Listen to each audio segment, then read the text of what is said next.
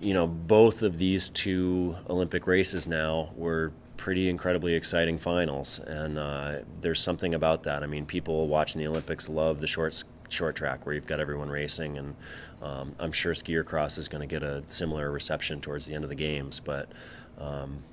you know, it was amazing to be able to go out there yesterday and put on the type of show that we did, and um, and you know, start hearing the feedback of just how unbelievable people thought that racing was. An amazing performance was really, you know, that's as good as it gets for me. You know, I think for the sport, um, you know, being that um, the amazing talent level the riders have gone out there both in Torino and in here um, and put on that type of a display of the head-to-head racing. Um, I think that's what validates it and that's what makes people excited to watch it. When you're not having to change your course to know like that my performance has been something that's helped spur that on is an amazing you know feeling of accomplishment that you're you're taking something that you've been passionate about from the time that you were a kid and being able to put that on the world stage and and get other people excited about it as well